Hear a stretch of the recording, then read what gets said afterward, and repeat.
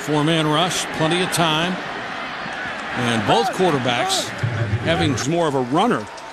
Sometimes comes in and play and has started. Cooper takes a wildcat snap. Pharoh Cooper out to the 36 yard. Orth with Wilds as his running back. Wilds will get the carry. Picks up a couple of yards before Bullard. Good to try to play. Orth flushed. Doesn't slide. Head first dive out to just across. Speed, great hands, and apparently a great arm too, which sounded like we may see later today. Fake the double reverse, and they will lose multiple yardages. CC.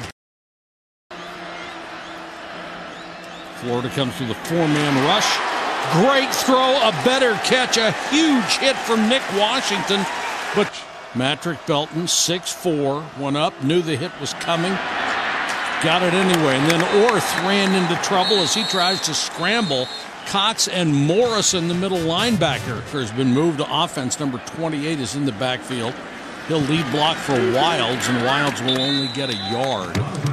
Kind of the new uh, regime here. Shawn Elliott, the interim head sideline erupted. It's really added nice energy to the team. Four wide receivers set. Orth throws incomplete. Need to do better than three and out on this possession. Orth pump fake. Now in trouble, and down he goes back at the 23 yard line. Think about using some of their timeouts to get the ball back. And that Florida defensive line is really firing through there as well as the. And this is a good job by South Carolina to eat some of this clock. I'd be shocked if Florida doesn't take a timeout here. Why not make South Carolina see? And they got a lot more pressure. So far, not much pressure up front. Childs the running back. He'll get the carry. Picks only a couple of yards. Bullard. It's a big deal for Florida. Guy wasn't expected to play. Pressure on Orth, and they got him. Bryan Cox Jr. couldn't throw, has three touchdown passes in his career, but he'll run this one. And Cooper will pick up seven. That's about the. This may be four down territory at this point. Pump fake by Orth, and then he's buried. Would have gotten them across midfield or at midfield back to first and 10. The running game has not been there for Brandon Wilds. Yeah, I'm not sure how much. If you're I'll, doing them. I'll get it on the way home. I'll get out pencil and paper. Hmm. And it just went down. Jordan Sherit. Flanker screen. Cooper wants to throw. Throw back to the quarterback. Orth has it. Touchdown. Can South Carolina mount another drive? Well, yes, they can. A perfect. Actually, inside 40 yards. I don't know how to get much. something on the ground, but Brandon Yeah. Wilds can't get anything. And because you'll take the three and then try the onside kick.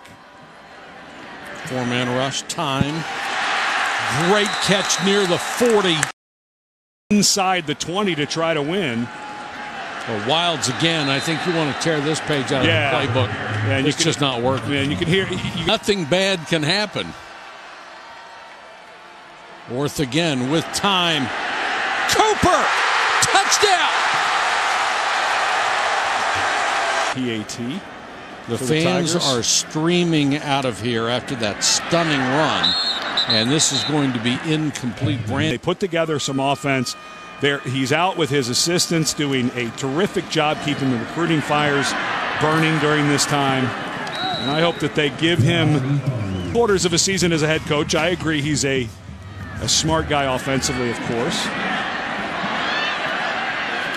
Orth under pressure, scrambles. But here are